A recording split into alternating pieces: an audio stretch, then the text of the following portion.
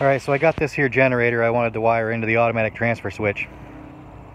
So if there was a power loss, this would come on automatically. But I'm having an issue. To start it, you can turn it on, put it in the on position and press the start button. And it'll just crank and crank and crank and crank forever until you nudge the choke over and then it'll instantly start and then you just let the choke off.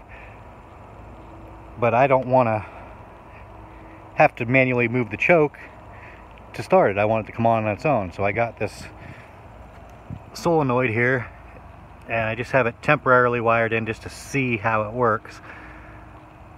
And I have it wired over so that when the starter's on, it engages.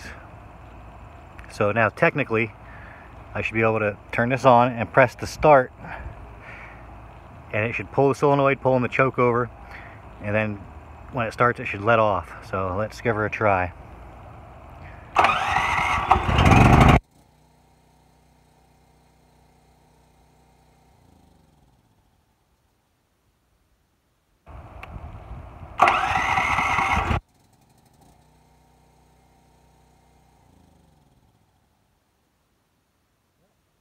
Yeah, that works perfect.